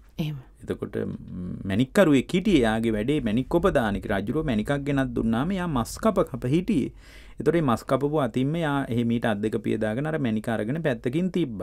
අර මස්ලිය සුවඳට ගෙදර ඇතිකරපු කොස්වහලිහිනියෙක් හිටිය. ඒ කොස්වහලිනිය මැනික ගිල්ලා. ඉතින් මැනික ගිල්ලට පස අර ස්වාමිනන්ස පින්ඩ පාතිට ඇවිලටිය උන්හන්සමික දැක්කා. හැබැයි මේක කියන්න ගිය නෑ. සතා ගිල්ල කියලා. සතාමික ගිල්ලපු බව හැඟෙව්වෙනෑ මොකද සතාමරණවනි එහෙම එච්චරට අපි නිවීම පැත්තේ ඉන්න කෙනෙ එහෙම එතකොට දැන් මෙතන මනුෂ්‍ය ඝාතනයක් වගේ දෙයක් නෙමෙයි වෙන්නේ. නමුත් මේ තිරිසන් සතෙකුටවත් අපි හානියක් වෙනවට කැමති නැහැ. ඒ තරම් අපි අවිහිංසාවාදී පිරිසක් භික්ෂුව කියන්නේ. භික්ෂුවගේ නියෝජනය අවිහිංසාවාදයේ පැත්තේ තියෙන්නේ. ඒ වෙලාවේ අර මණිකාර කුළුපග්ගතිස්ස මහරහතන් වහන්සේ මේක දැක්ක නමුත් අර මිනිස්සයා බැලුවා කවුරුවත් ආවෙත් නැහැ. මෙතන මේ හාමුදුරුවෝ විතරයි හිටියේ. මේ හාමුදුරුවෝ කිව්වා වැඳලා හාමුදුරුවනේ මෙතන කවුරුත් ආවේ නැහැ. මම මෙතනමයි මැනික තිබ්බේ. ඔබ වහන්සේ මේක ගත්තා නම් මට දෙන්න. කමක් නෑ සාමාන්‍ය මිනිහෙකුට මේ වගේ දෙයක් එන්න පුළුවන් එක පාර මේ වගේ වටිනා දෙයක් එයා දන්නේ මේ ස්වාමීන් වහන්සේගේ හිත මොන වගේද කියලා. අනික එයාට අඳුර ගන්නත් බෑ අවුරුදු 12ක් වැඩියට. අවුරුදු 12ක් ආවට මෙයාට හිතා ගන්නත් බෑ මේ හාඳුරු මොන වගේ කෙනෙක්ද කියලා. එතකොට ඒ මිනිස්යාගේ ප්‍රඥාව මොට වෙලානේ තිබිලා තියෙන්නේ. එහෙම. ඉතින් අර හාමුදුරුව මොකද කරන්නේ කිව්වා මම ගත්තේ නෑ. ඊට පස්සේ කො නෑ කවුරුත් ආවේ නෑ හාමුදුරුවනේ ඔබ වහන්සේනේ ගත්තේ ඔබ වහන්සේ ඔබ වහන්සේනේ මෙතන ආවේ නිසා ඔබ වහන්සේ හැර මේක ගන්න කෙනෙක් නෑ කියලා. අන්තිමට මේ මනුස්සේ හරියට හාමුදුරන්ට හිරිහැර කරලා තියෙනවා. ඔන්න බලන්න හේතුව හොයන්න නැතුව ඵලයට ප්‍රතිචාර දැක්වුවාම ම්ලේච්ඡත්වයේ ප්‍රචණ්ඩත්වයේ මතුවෙන්නේ. ඊට පස්සේ හාමුදුරන්ට හිරිහැර කරනකොට හාමුදුරන් අර ඔළුව වෙලලා හරියට හිරිහැර කරපු වෙලාවේ ඔළුවෙන් ලේ ගලනකොට අර කොස්වහලීනියා මේ හාමුදුරන්ටත් වඩා ලෙන් ගතුයි. මොකද ගෙදර ඇති කරන. එහෙම. අර ලේ බොන්න ඇවිල්ලා තියෙනවා. එතකොට අර මනුස්සයාට කේන්තිකින් උඹත් මෙතන ආවද මේ ප්‍රශ්න අස්සේ කියලා ගහලා තියෙනවා පාර. එතකොට මේ කොස්වහලීනියා ගිහින් බිත්තිය වැදිලා එහෙම මැරිලා වැටුණා කියනවා. එතකොට උන්වහන්සේ කියනවා බඩපළල බලන්න කියලා. එතකොට මැනික තියෙනවා. එතකොට අර පුද්ගලයා අප්‍රමාණ පසුතැවීමක් ඇති වෙනවා. එතකොට මේ සංසිද්ධිය පදනම් කරගෙන බුදුරජාණන් වහන්සේ වදාළ ලස්සන ගාථාවක් තියෙනවා. මේ පුද්ගල විවිධත්වයේ සම්බන්ධ. ගබ්බමේතේ uppajjanti. කොටසක් ගර්භයකට යන විදියට චර්යා හදා ගන්නවා. ඔය අතර නිරයන් පාපකම්මිනෝ සමහර අය නිරයට යන විදියට හැසිරෙනවා. මේ වර්තමානය තුළ නිරයට යන විදියට හැසිරෙනවා. ඔය අතර කොටසක් ඉන්නවා දිව්‍ය ලෝකෙට යන්න පුළුවන් විදියට Tamanගේ ක්‍රියාකාරකම් ගොඩනගා ගන්න ඉතින් ඊට මානවවාදී වෙනවා. මේ දිව්‍ය ලෝකේ තියනවද නැද්ද කියලා අපි මෙතන අහන්න ඕනේ නැහැ. ඊටා හොඳින් හැඟීම් දැනීම් සහිතව සිතින් කයින් වචනයෙන් තවත් කෙනෙකුට හානියක් නොවන විදියට ආචාර ගෝචර විදියට චර්යා හදා ගන්නවා. ඔය අතර ලෝකෙන් නික්මිලා පරිනිබ්බන්ති අනාස වාශ්‍රව වලින් නිදහස් වෙලා ඔය අතර පිරිනිවන් පානවා. මේක තමයි පුද්ගල විවිධත්වය. එතකොට මේ පුද්ගල විවිධත්වය කියන එක භික්ෂුවටත් සාධාරණයි. එකන භික්‍ෂු සමාජය කියන්නෙත් මේ සමාජයේ සාමාන්‍ය දරුවෙක් විදියට මවකුසකින් බිහිවෙච්ච පිරිසක්. සිවරු පරෝගන කවරත් මේ මවකුසින් එලියට අපපු ඇනෑන එතකොට මේ සමාජය තුළ පවතින විධත්වය භික්‍ෂු සමාජය තුළත් තියෙනවා එතොට ඒ විධත්වය තුළ සමහරයි ගුණ ධර්ම දියුණු කරනවා. සමහරයිගේ චර්යා වඩාත් ප්‍රචන්්ඩයි ඒ හැසිරීම් දිහ බල සමාරයි නොමි හාමුදුරුන්ට ගැලපෙන්නේ කියලා. සමහරයි ගැලපෙනවා කියලා කියන ඔබතුමි කිව්ව වගේ. මේ විධත්වය භික්ෂු සමාජයටත් පොදු බව අපි තේරුම් ගන්න ඕන. ඒ අතර අදත් ධර්මී දියුණු කරමින් ගුණධර්ම දියුණු කරගෙන නිවීමේ අදහස ඇති කරගෙන පිළිවෙත් පුරණ සංඝයායින එක අපිට හරි වාසනාවක්. ඒ නිසා මම ඔබට යෝජනාවක් විදියට කරන්නේ මේ පවතින තත්ත්වය කවර තත්ත්වයක් හෝ. අපි ගොඩා කමාරු දේවල්වලට මුහුණ දුන්න ජාතියක්. අපි තරං ලෝකේ අමාරු දේවල්වලට මුහුණදීපු මිනිසු නැතු ඇති. වර්තමානයේ මේ දැන්ඉන්න මානව වර්ගයා මුහුණ දෙන අර්බුදේ දිහා බලන්නු. කවුරුත් දැකලා නැති දේවල්. කවුරුවත් අත්දැකලා නැති දේවල් අපි අත්දැක්කා. අපි සුනාමියක් දැක්කා. අපිට මෙච්චර කල් අපිට කිවේ මුහද ගොඩ ගලනවකුවම අපි හිතුව කලින් කදාපු කතන්දරයක් මේක කියලා. නමුත් අපි සුනාමියක් දැක්කා. සුනාමියට ඇඳිවතවත් නැතුව මිනිස්සු ගහගෙන යනවා අපි දැක්කා. ලංකාව බලන්නකු තිස් වසරක යුද්ධයකින් බැට කෑවා. අම්ම එක බස් එක යනවා දරුව අනිත් බස් එක යනවා තාත්ත වෙන බස් එක් යනවා මිනිසුන්ගේ චර්යාවලට මහ විඩාවක් යුද්ධයක් දැක්කා. එතොට තිස් වසරක යුද්ධේ ජයග්‍රහණය කිරීම පිළිබඳව අපි අත්දැක්කා. ඒත් එක්කම විවිධාකාරය ස්වභාවික විපත්වලට අපි කොච්චර මුණ දුන්නද. කුණු කඳු නායගයා කියනවා අර රාමසර කන්ද වගේ එකක් නායකින් විශාල මිනිස්සු බලාගෙන ඉද්දී පස් කඳුවලට යට වුණා. මිබඳු අත්දැකීම් කොරෝනාව සංගතය ප්‍රබලම අත්දැකීමක් ඉතින් මේ බඳු අත්දැකින් බොහෝමයකට මුහුණ දුන්න ජාතියක් අපි. මංහිතන්න මේ අතීත මානවර්ගයා දිහා බැලුවට පස මේ අත්දැකීම් සියල්ලම එකතු වෙලා අත්දැකපු ජාතියක් නැතුවත් ඇති. ඉතින් මේ බඳු අත්දැකින් බොහෝමයකට මුහුණ දුන්න පිරිසක් අපි. ඒ නිසා අපිට තියෙනවා දැන් අර ලෝකෙ කතාවක් තියෙනවා දිවිය ලෝකෙට යන්න පාර කපාගණ්ඩ කලින් අපායට යන කුණුකානු ටික හගන්න කියලා. ඒ හරි හොඳ ප්‍රබල කියවීමක්. ඒ නිසා අපි මේ මවාගත්ත සුන්දර ලෝකයට කලින් අපි තුළ පවතින අපචාරය අපි තුළ පවතින සදාචාර විරෝධී භව ඒවා ටික වහගණ්ඩෝ නිස්සල්ලා. එතකොට ඒ සදාචාර විරෝධී ආකල්ප අපි තුළ තියෙනවා නං ඒ සදාචාර විරෝධී ආකල්ප තියාගෙන අපි හිතාගත්තේ සුන්දර ලෝක අපිට මවාගන්න බෑ. අපි හිතාගෙනන්නේ සුන්දර ලෝක අපිට හම්බ වෙන්නෙත් නෑ. ඒ නිසා අර කියවමන හරි සාධහරණයි දිවියලෝකෙට යන්න කලින් අර කුණු කානුටික වහගත්තනම් අපායට යන්න තියෙන එතනින් නිරන්තරයෙන්ම දිවියලෝකෙට යන්න පුළුවන් විදිට දොර ඇරී එහෙම නැත්තං අපි ඒ ඒ මොහොතේ ප්‍රතිචාර දක්වන්නගින් අපි තවත් කබලෙන් ලිපට වැටුනා වගේ අර්බුදවලට මුහුණ දෙන්න පුළුවන්. ඉතාම සංයමයකින් උපේක්ෂා සහගතව ලෝකයට මුහුණ දෙන්න කියලයි මම හැමෝටම කියවන්න කියන්නේ මොකද මේ පවතින සියලුම තත්ත්වයන් අනිත්‍ය වන ස්වභාවය. අපේ හමුදුරනේ මං කැමති ඔබවාසයගෙන් දැනගන්න දැන් බෞද්ධ හැටියට අපි ප්‍රශ්න ගැටලු වල්දි නොයකුත් දේවල් කරනවා. අමිස පූජාත් කරනවා ප්‍රතිපත්ති පූජාත් කරනවා නොයකුත් දේවල් කරනවා. මේ වගේ ප්‍රශ්නයක් ආර්ථික අර්බුදයක් මතු වුණු අවස්ථාවකදී අපිට කියන්න බෑ මෙන්න මේ මේ විදිහට මල් පූජ කරන්න මේ විදිහට පූජාවන් කරන්න මේ විදිහට කරන්න කියල කියන්න බැහැ. නමුත් අර සත්‍යක්‍රියා කියනේ අපි බොහෝ වෙලාවට සිද්ධ කරලා තියෙනවා නේද අපි එහෙම සියලු දෙනාම එකතු වෙලා සිද්ධ කරලා නැති වුණත් අපේ ධර්මෙත් කියලා තියෙනවා නේද ඔබට මොකක් හරි ව්‍යසනයකදී කරදරයකදී ගැටලුවකදී ඔබ සත්‍යක්‍රියාවක් කරන්න කියලා. දැන් ඒ වගේ වැඩපිළිවෙලක් මේ වගේ තැනකට ගැලපෙයිද හාමුදුරුවනේ කොතෙක් දුරට. ඇත්තටම අපි ප්‍රායෝගිකව වැදගත් දේවල්නි කතා කරන්න ඕන. දැන් ඔබතුමිය සත්‍යක්‍රියාව ගැන කියන්නේ මිනිසු අතර හිම අදහසක් තියෙනවානේ.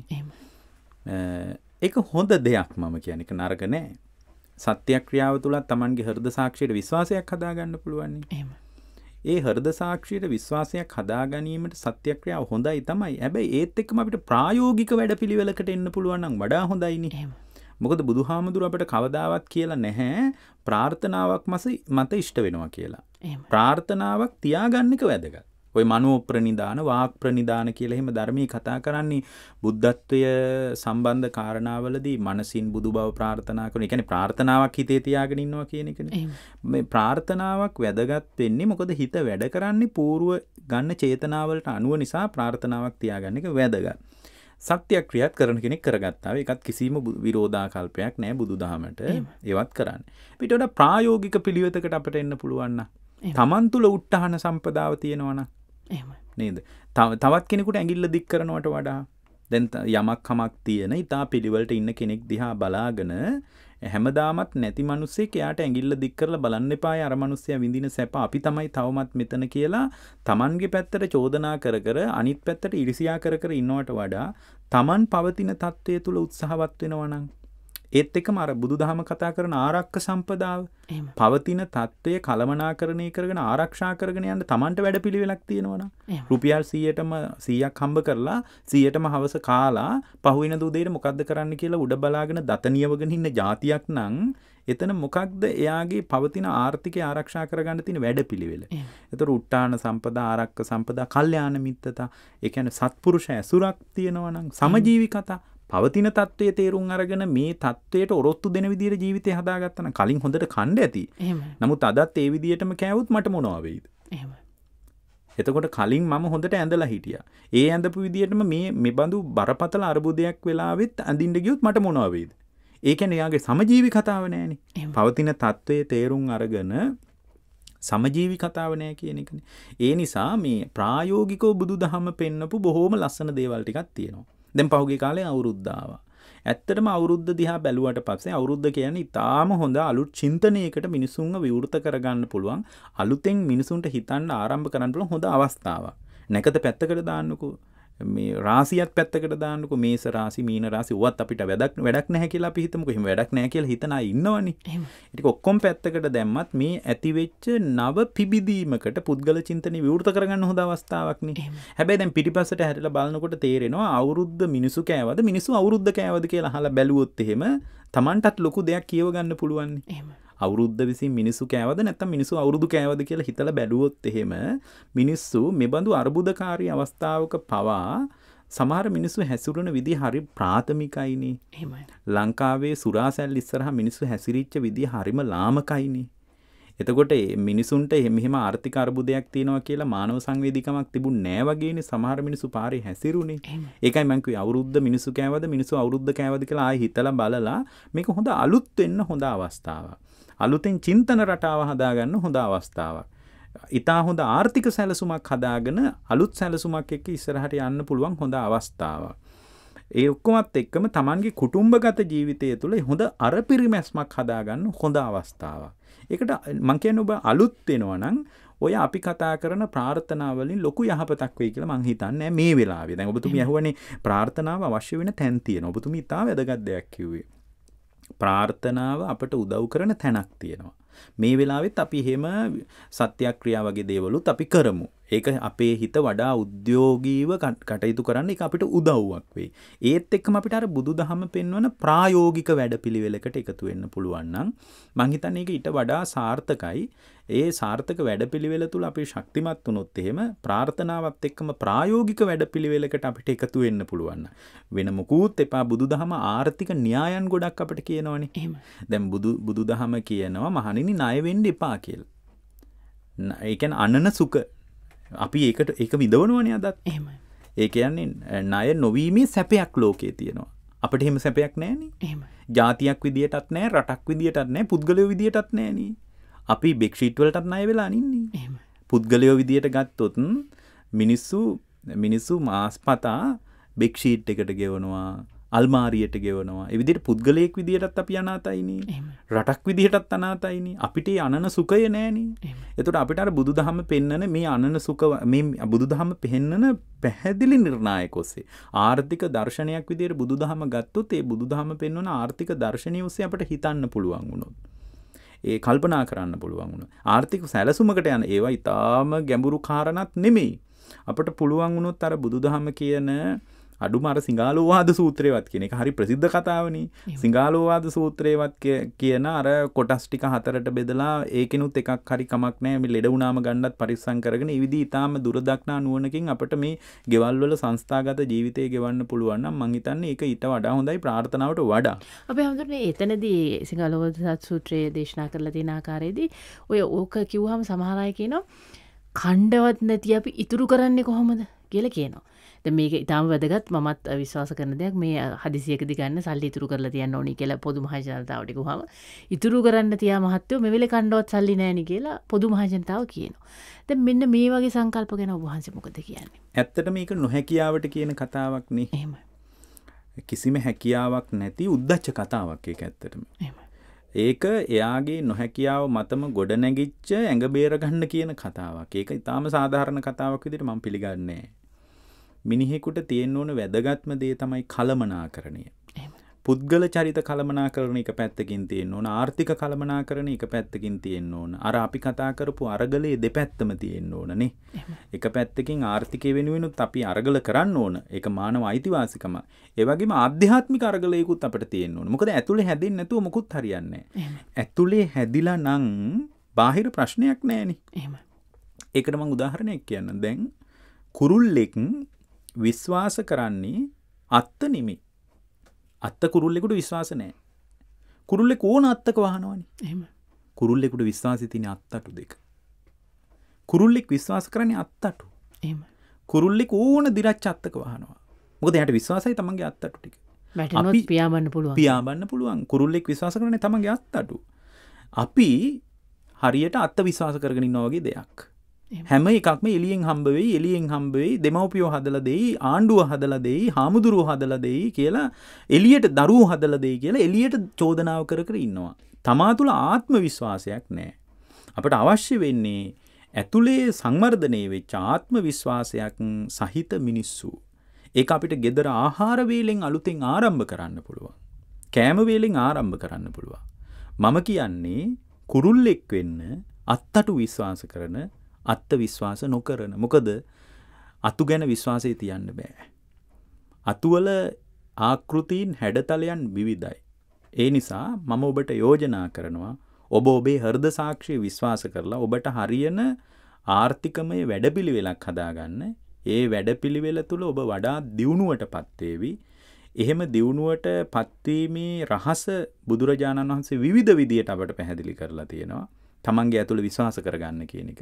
ඇතුළ විශ්වාස කරපු මිනිස්සු හැමදාමත් ජයග්‍රහණය කළා. මොකද ඇතුළ විශ්වාස කරන මිනිස්සු වරදින්නේ කොතනද කියලා ඒ වරදින තැන් ඒගොල්ලෝ හොයාගත්තා. නැගී හිටිය යුතු තැන කොතනද කියලා යා නැගී හිටිය යුතු තැන හොයාගත්තා. එළියෙන් නැගී හිටින තැන කියලා දෙයි කියලා කවුරුත් විශ්වාස කළේ නැහැ. හැම දියුණු වෙච්ච මිනිස්සුන්ගේ ජීවිත කතාව දිහා බැලුවට පස්සේ ඒගොල්ලෝ Tamanගේ හෘද සාක්ෂිය විශ්වාස කරපු අය මම ඔබට කියන්නේ ඔබේ අභ්‍යන්තර හෘද සාක්ෂි විශ්වාස කරන්න. එතකොට අර කියන භෞතික දියුණුවත් එක පැත්තකින් හැදේවි ආධ්‍යාත්මික දියුණුවත් හැදේවි. ඒ දෙපැත්තම හැදිච්ච නැති ජාතියකට yaadෙන්නේ නැහැ. අපි හිතාගෙනනවා මේ ආර්ථික අරබුද විතරක් විසඳගෙන සදාචාරය ගසාගෙන ගියත් කමක් නෑ අපිට ඒවා මොකක්වත් වැඩක් නැහැ. කණ්ඩ තියෙනවන. කෑමටික තියෙනවා නම් සදාචාරයක් කිසිම තේරුමක් නැ ොද සදාචාරය කණ්ඩද කියලන මිනිස්සු අහන්නෙත්. සදාචාරයක් නැති ජාතියකට අභ්‍යන්තර තමන්ගේ සන්තානගත නැගි හිටීමක් ඇතිවෙන්න කවදාවත්. එනිසා අභ්‍යන්තරව නැගී හිටිනවනම් හරද සාක්ෂී විශ්වාස කරනවනම් එක ප්‍රාර්ථනාවක් අභිභවාගියපු ඉතා ප්‍රබල වැඩපිළිවෙලක් ඒ බඳු ප්‍රබල වැඩපිළිවෙලක් තියෙන පුද්ගලයකුට ඒ රාෂ්ටකත් නෑ සෙනසුරු ප්‍රශ්නත් නෑ ග්‍රහාපලත් නෑ නැකත් වැඩකුත් නෑ කිසිවක් වැඩක් නෑ මොකොදයාගේ අභ්‍යන්තර හර්ද සාක්ෂිය විසින් යාව නගා සිටුවයි. එහෙම නැගී හිටීමේ වැඩපිළිවෙලක් නැතුව එලියට චෝදනා කර කර ඉන්නවනං ඒක නොමේරු ජාතියක වැඩපිළිවෙලා. අවසාන වශයෙන් ඉතාම කෙටි පිළිතුරක් ඔබහන්සේගෙන් බලාපොරොත්තුනවා කෙනෙක් හිතන්න පුළුවන් මේ මුළු ජාතියක්ම එකට එකතු වෙලා කිසියම් කර්මයක්දම කියවන්න ඔක්කොටම මුණ දෙන්න වෙන එක සමූහ කර්මයක් අප හමුදුරන? ඇතර මේ වගේ තත්ත්වයක් අපි කර්මයට දාලා කතා කරන්න නරකයි. හැම දේකම කර්මයේ විවිධ බලපෑම් තියෙන්න පුළුවන් නමුත් මේ පවතින තත්ත්වයේ කර්මය ආධිපත්‍යයක් කියලා අපි හිතන්නේ. හේතුඵල සහිතව විමසනකොට තම තමන්ගේ වැරදිවලට තම තමන්ට විපාක ලැබිලා තියෙනවා කියලයි මට කියන්න තියෙන. හොඳයි අද බක්පුර පසලොස්වක පොහෝදින මංහිතන්නේ ඔබට ඉතාමත් වැදගත් සංවාදයක් අපි අද දවසකෙනාව කියලා අපි විශ්වාස කරනවා. ඒ පිළිබඳව ගෞරවපූර්වකව නමස්කාරපූර්වකව සූතිවන්ත වෙන අප හමුදුරනේ. පූච්ච ශාස්ත්‍රපති හසලක සීල විමල ස්වාමින් වහන්සේට. අපි හැමදාමත් උත්සාහ කරන්නේ කවර හෝ තත්ත්වයක් ඇනතේ කවරාකාරයක දේශපාලනක ආර්ථික සාමාජීය තත්ත්ව වලට ඔබ මුහුණ දුන්නත් බෞද්ධයකු හැටියට නියම බුදුදහම පිළිපදින නියම බුදුදහමේ හරය හරියට වටා ගන්න ඒ තිබෙන දර්ශනික කතාව හරි හැටි වටහා ගන්නා සංවාධයක් ඕකතරණය වැඩස්ටාන තුළින් ගෙනෙන්නට අපි හිතනවා ඔබට හිතන්නට කරුණු ඉතිරි ඉතිරි කරමින් අද දවසේ බක්පුර පසුලොස්සක තින පොහොදිනේදී අපි ඔබෙන් සමුගන්නවා ඇතැයි කියලා. අපි ලබන පුන් පොහදිනෙත් මෙද විතියටම ඔබ හමුවන්නට බලාපොරොත්තු වෙනවා නමස්කාරපුරකෝ නැවතවතාවක් අපේ පූච පාද හසලක සීල විමල ස්වාමින් වහන්සේට ස්තුතිවන්ත වෙන ගමන් සුබ දවසක් ප්‍රාර්ථනා කරනවා ඔබ හැම දෙනෙකුටම.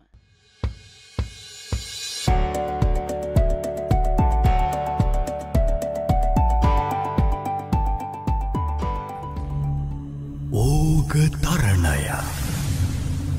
නිවන් තොටුපොළ වෙත එතෙර කෙරෙන යාත්‍රාව.